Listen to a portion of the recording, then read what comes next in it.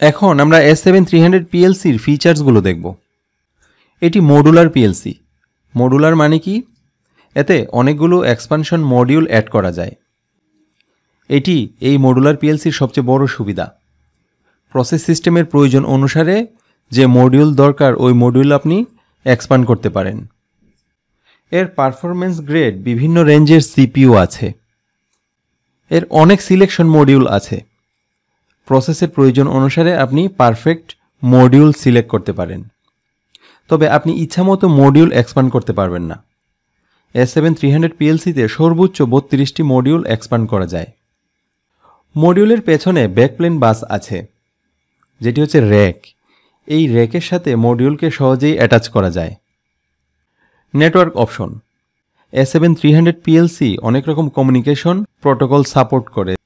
যেমন এমপিআই বা multi point interface Profibus industrial Ethernet তাছাড়াও আপনি ল্যাপটপ কানেকশন করে ল্যাপটপ থেকে সকল মডিউলকে অ্যাক্সেস করতে পারেন। এর কোনো স্লট রেস্ট্রিকশন নাই। এইচ ডব্লিউ কনফিগ টুলের মাধ্যমে আপনি কনফিগারেশন এবং প্যারামিটার সেটিং করতে পারেন, যা আমরা প্রোগ্রামিং সেকশনে দেখব। এখন এস সেভেন থ্রি হান্ড্রেড পিএলসির মডিউলগুলি নিয়ে আলোচনা করব। এস সেভেন থ্রি হান্ড্রেড পিএলসির অসংখ্য মডিউল আছে। পাওয়ার সাপ্লাই এটি অপশনাল পিএলসির সাথে আপনি পাওয়ার সাপ্লাই লাগাতে পারেন অথবা এক্সটার্নাল কোনো পাওয়ার সাপ্লাই থেকে আপনি সিপিইউতে পাওয়ার দিতে পারেন। সিপিইউর সাথে ইনপুট আউটপুট মডিউলগুলা যুক্ত করা হয়। আইএম ইন্টারফেস মডিউল এটি অপশনাল আইও মডিউল বা হাই লেভেল পিএলসির মধ্যে ডাটা কমিউনিকেশন ইন্টারফেস মডিউলের মাধ্যমে হয়। ইনপুট আউটপুট যখন কন্ট্রোলার থেকে একটু দূরে হয়, তখন রিমোট আইও ব্যবহার করা হয়। সিমেন্স ইটি টু হান্ড্রেড এই রিমোট আইওর সাথে একটি ইন্টারফেস মডিউল যুক্ত করা হয়। ওই ইন্টারফেস মডিউলের মাধ্যমে সে সিপিউর সাথে কমিউনিকেশন করে। Interface module IM three six zero IM three six one IM three six five এগুলো মাল্টি টায়ার কনফিগারেশন করা যায়। এক টায়ার থেকে অন্য টায়ারে বাসকে লুপ করে। এখানে দেখা যাচ্ছে রিমোট আয়োর সাথে একটি ইন্টারফেস মডিউল আছে। ওই ইন্টারফেস মডিউল থেকে সেন্ট্রাল পিএলসিতে কমিউনিকেশন করা হয়। এটা নর্মালি প্রফিবাজের মাধ্যমে করা হয়। রিমোট আইও ব্যবহার করলে লম্বা তার কানেকশনের হাত থেকে বাঁচা যায়। এখানে শুধুমাত্র একটা কমিউনিকেশন কেবল ব্যবহার করা হয়। তা না হলে কিন্তু আলাদা আলাদা প্রত্যেকটি ইনপুট আউটপুটের জন্য কেবল টানা লাগতো, যা খরচ বাড়িয়ে দিত। শুধুমাত্র একটা ইন্টারফেস মডিউল এবং রিমোট আয়ো যুক্ত করে এই খরচ থেকে বাঁচা যায়। খেয়াল রাখতে হবে কন্ট্রোল রুমের সিপিইউ এবং ইন্টারফেস মডিউলের কমিউনিকেশন পোর্ট যেন একই রকম হয়। বড় প্রসেস সিস্টেমে যেখানে একের অধিক র্যাক দরকার পড়ে, সেক্ষেত্রে ইন্টারফেস মডিউল ব্যবহার করা যায়। ইন্টারফেস মডিউল প্রথম র্যাকের সেকেন্ড স্লটে এবং নিচে দ্বিতীয় র্যাকের প্রথম স্লটে যুক্ত হয়েছে। প্রফিবাস কেবলের মাধ্যমে প্রথম ইন্টারফেস মডিউল থেকে দ্বিতীয় ইন্টারফেস মডিউলে কমিউনিকেশন করা হয়েছে। প্রফিবাস অথবা প্রফিনেট প্রোটোকল ব্যবহার করে কমিউনিকেশন করা যায়। সো আশা করি ইন্টারফেস মডিউলের কি কাজ বুঝতে পেরেছেন। Signal module S M signal module পিএলসির hardware যা ডাটা রিসিভ এবং ট্রান্সমিট করে।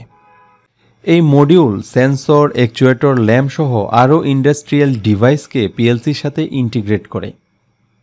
এসব ডিভাইস থেকে সিগন্যাল রিসিভ করে।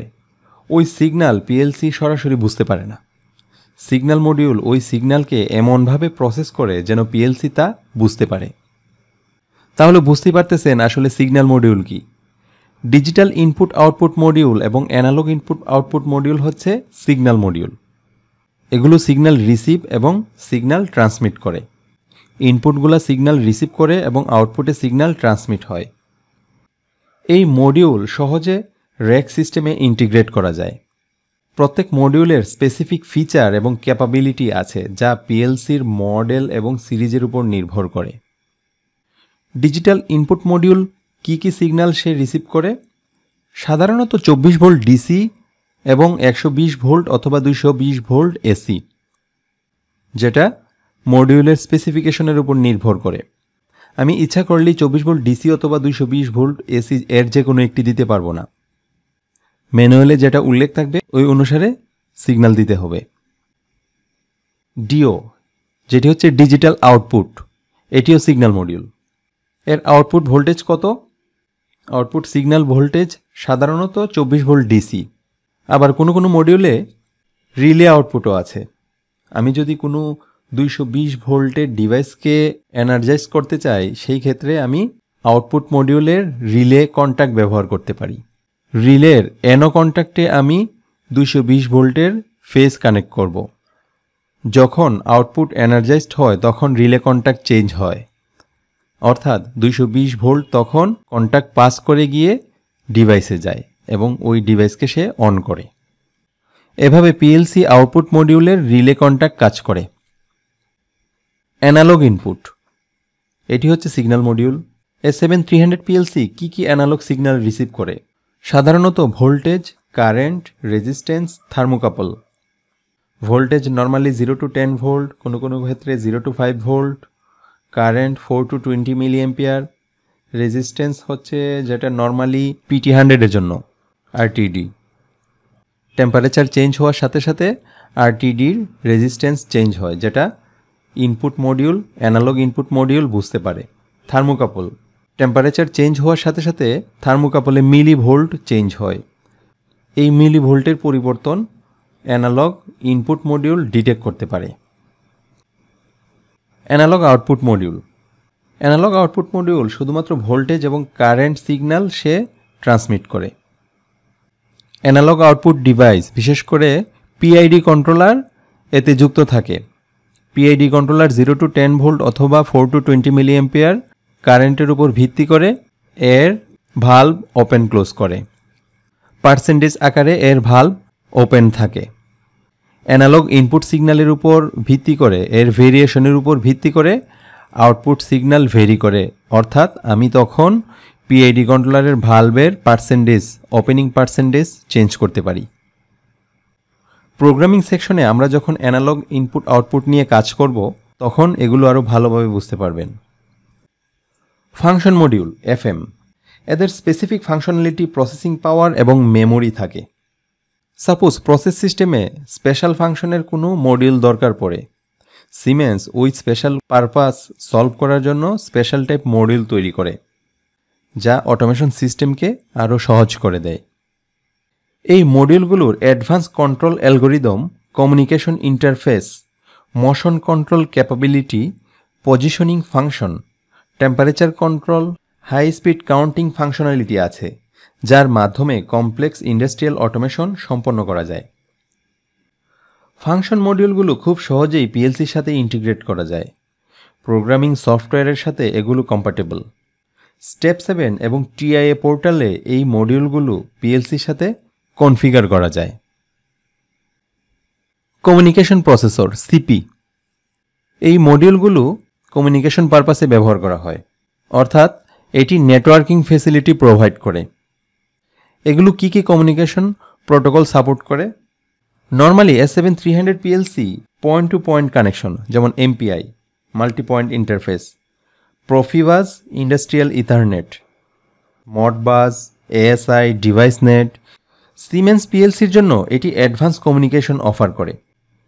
এই প্রসেসর পিএলসি এবং অন্যান্য ডিভাইস নেটওয়ার্ক এবং সিস্টেমের সাথে কমিউনিকেশন করে ডাটা এক্সচেঞ্জ রিমোট মনিটরিং এবং কন্ট্রোল করে।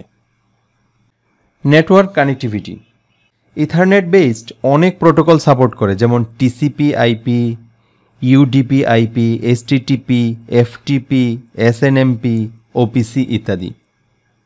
এই কমিউনিকেশন প্রসেসরগুলো পিএলসিকে বিভিন্ন নেটওয়ার্কে যুক্ত করে, যেমন ল্যান ওয়ান ইন্টারনেট ইত্যাদি। রিমোট অ্যাক্সেস এবং মনিটরিং কমিউনিকেশন প্রসেসর ব্যবহার করে ইউজার পিএলসি সিস্টেমে রিমোট অ্যাক্সেস এবং মনিটরিং করতে পারে। অর্থাৎ, দূর থেকে সে পিএলসিতে ঢুকতে পারে। ট্রাবল শুটিং ডায়াগনস্টিক্স এবং সিস্টেম মেনটেন্যান্সের কাজে পিএলসির কাছে উপস্থিত না থেকেও দূর থেকে এই কাজগুলো সম্পাদন করা যায় ইজিলি দূর থেকে ইন্টারনেটের মাধ্যমে পিএলসির অ্যাক্সেস নেওয়া যায়। তবে এক্ষেত্রে সাইবার সিকিউরিটি একটি গুরুত্বপূর্ণ ইস্যু থাকে। যদিও সিমেন্সের অনেক সিকিউরিটি ফিচার্স থাকে, যার মাধ্যমে এই ঝুঁকিগুলো এড়ানো যায়। এখন এস সেভেন থ্রি হান্ড্রেড পিএলসির সিপিইউ ডিজাইন নিয়ে আলোচনা করব। মোট সিলেক্টর এম আর ইএস এটি হচ্ছে মডিউল রিসেট যখন আমি নব এই পজিশনে রাখব, তখন মডিউল রিসেট হয়। স্টপ এই পজিশনে নব থাকলে প্রোগ্রাম এক্সিকিউট হয় না। রান প্রোগ্রাম এক্সিকিউশন ল্যাপটপ থেকে তখন শুধুমাত্র রিড অনলি করা যায় প্রোগ্রাম রাইট করা যায় না। রান পিতে নব রাখলে প্রোগ্রাম এক্সিকিউট হয়। ল্যাপটপ থেকে তখন প্রোগ্রাম রিড করা যায়, আবার রাইটও করা যায়, অর্থাৎ আপলোড ডাউনলোড করা যায়। স্টেটাস ইন্ডিকেটর এলইডি এসএফ এটি হচ্ছে group error internal CPU fault অথবা মডিউলে কোনো ফল্ট হলে এসএফ লালবাতি জ্বলে। বিএটিএফ সেটা হচ্ছে ব্যাটারি ফল্ট ব্যাটারি শেষ হয়ে গেলে অথবা ব্যাটারি যদি না থাকে, অনুপস্থিত থাকে, তখন এই লালবাতি জ্বলে।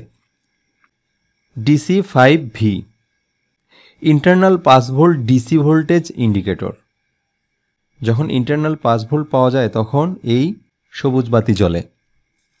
এফ আর সিই এটি হচ্ছে ফোর্স ন্যূনতম একটি ইনপুট অথবা একটি আউটপুট ফোর্স করা হলে এই হলুদ বাতি জ্বলে। রান সিপিইউ যখন স্টার্ট হয়, তখন ফ্লাশিং করতে থাকে। রান মোডে যখন চলে যায়, তখন আলো স্থির হয়ে যায়। স্টপ স্টপ মোডে হলুদ বাতি জ্বলে। মেমোরি রিসেট রিকোয়েস্টের সময় ফ্লাশিং করে।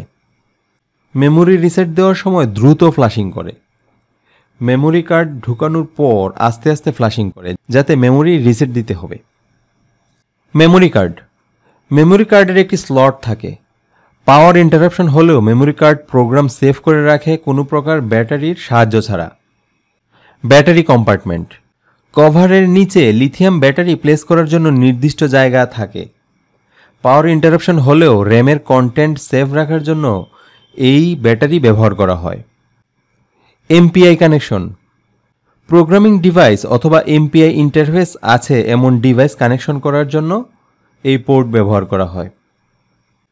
DP interface. সিপিইউর সাথে ডিস্ট্রিবিউটেড আইও এর সরাসরি কানেকশন করার জন্য এই ইন্টারফেস ব্যবহার করা হয়। আমরা আগেই দেখেছি ডিস্ট্রিবিউটেড আইওর সাথে একটি ইন্টারফেস মডিউল যুক্ত করতে হয়। ওই ইন্টারফেস মডিউল থেকে ডিপিতে কানেক্ট করতে হয়। তখন সিপিউ ওই রিমোট আইওর সাথে কমিউনিকেশন করে।